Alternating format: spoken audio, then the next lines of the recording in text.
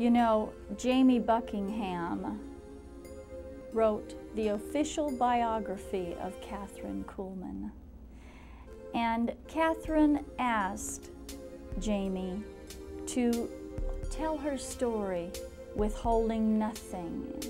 She wanted the whole entire story written about her life, about a very human person, of marriage and divorce, of betrayal within even her own staff, of the shadowy events that surrounded her death. The true story, not of a plaster saint, but of a very human person. Most religious celebrities adjust their lifestyles to fit ascending fame. But even though Kathryn's fame mushroomed like an atomic cloud as she moved into the 60s, she always remained a small time operator. By the time that Kathryn Kuhlman Foundation was formed in 1957, her annual gross income was in excess of $1 million.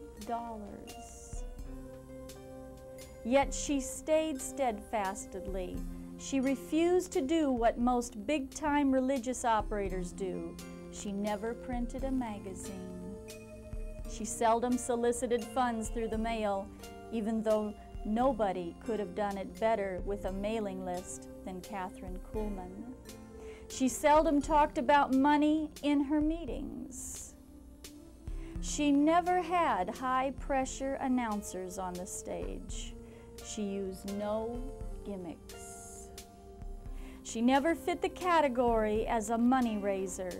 She remained until the time of her death straight Missouri cornbread.